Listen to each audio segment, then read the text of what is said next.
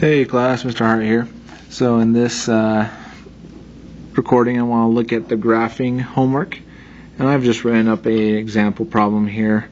Um, the example is for like a ball falling from a building and we look at the time and we look at how far it's fallen in that given time. So we got the time right here and the position right there.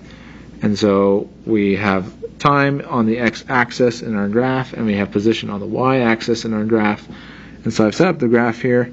And so all we're going to do is just take each point one by one and graph them. So we got 0.5 seconds at 1.225 meters. So we go to our graph, 0.5 seconds. 1.225 meters is going to be pretty small, so I'll just draw a point right there. Okay. At one second, we're at 4.9 meters, which is right about here. Okay, at 1.2 seconds, we're at 7.056, so that's about right here. Okay and then at 2.1 seconds we're at 21.61 so that's about right there.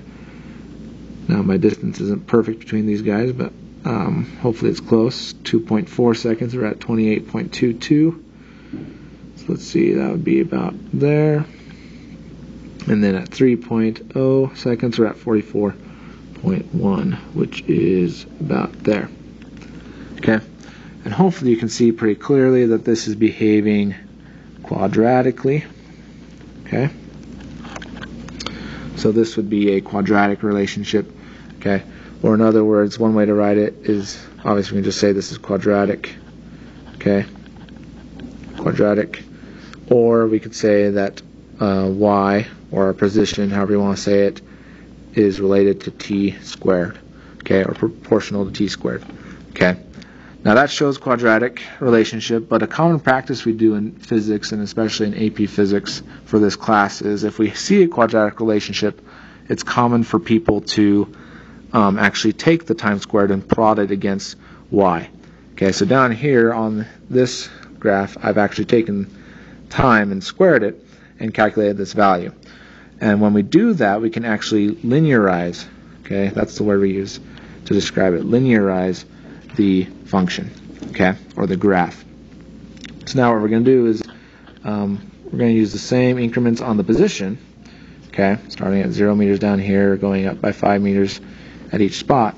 But now we're going to go by the time squared. So our scale is going to be switched a little bit. So we're going up to 10. So it looks like I'm going to have to go, uh, let's see, one second, two second, three second, four second, five second, six second, seven second, eight second, nine second, ten second. Okay. So notice that the um, thing I'm plotting now is time squared, and the units are actually changed, which is a little weird. But notice what happens when we plot this. Okay. So we start zero seconds here, one second there. Then we plot each point versus time squared. Then we get a linearized function. So 0.25 seconds squared compared to 1.225 meters. So that's just down here. It's kind of hard to tell exactly where we'll be at, but it'll be about right here, right near the origin. At one second, we're at one second squared and we're at about five meters. Okay. At 1.2 seconds, we're actually at 1.44 seconds squared. And we're at that 7 meters, which is about right here. Okay. Then at 2.1, we're at 4.4 for one seconds, we're at 21.6. So that's going to be about right there. Did I do that right? Oops, sorry. Should be a little bit lower. About there. Okay. And then at 5.76 seconds, or at 5.76 seconds squared, we're at 28, which is about right there. And the 9 seconds squared, we're at the 44.1, which is up here. Okay, so now notice what happened. Our quadratic function, okay, became a linear line of best fit.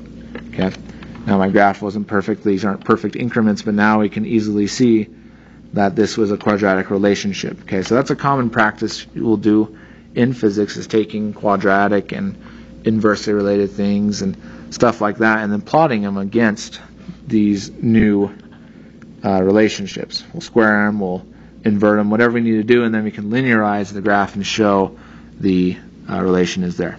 Okay. So I just wanted to make sure that was clear. Um, hopefully that makes sense. Uh, thank you for listening.